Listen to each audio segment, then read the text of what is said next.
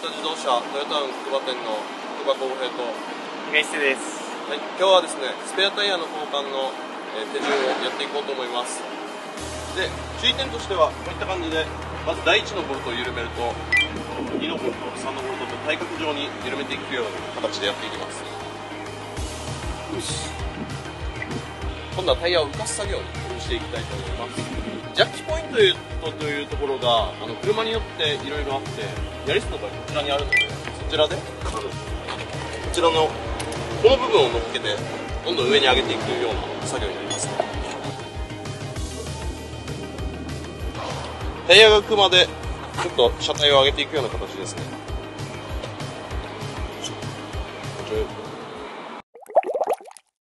こちらで手で緩めるような感じになっていくのでこの時ちょっとでも硬ければまた追加で工具でタイヤを押さえてあげればすぐ緩めるので。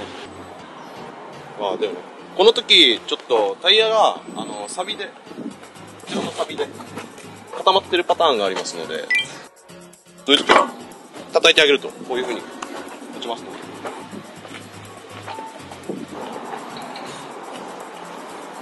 で下の方を持ってあげると押さえやすい。下だけ。そうそう。1個上だけを止めて。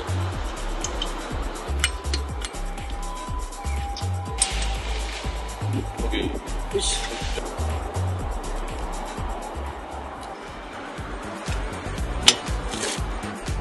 最後に最後最初の1本緩まってない組って。